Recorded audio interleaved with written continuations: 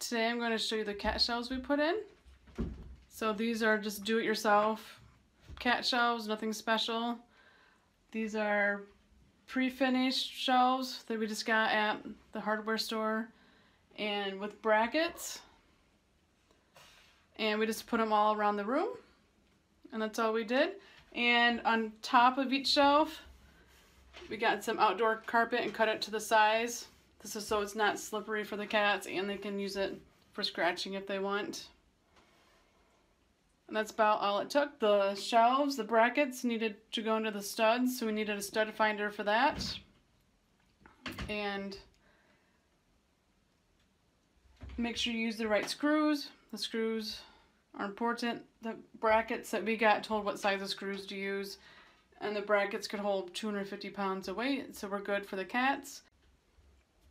And for shelf width, this was 11 and 3 fourths inch. So that's wide enough that the cats can pass each other. When putting in cat shelves, one thing to consider is the distance between the shelves. You make sure the cats have room to fit and have room to jump to the next shelf.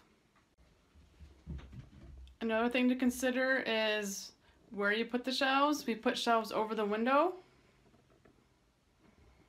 which that's nice for the cats but it makes the room feel a little bit dark because light is not reflecting off the ceiling as much.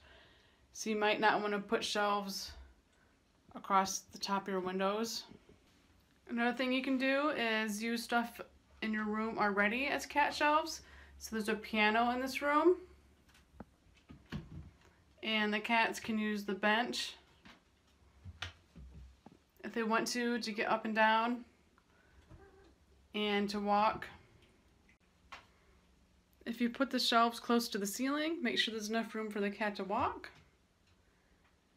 Now on these shelves, the cats can walk, but they can't sit straight up, so maybe we could have put them down a little lower except for by the window.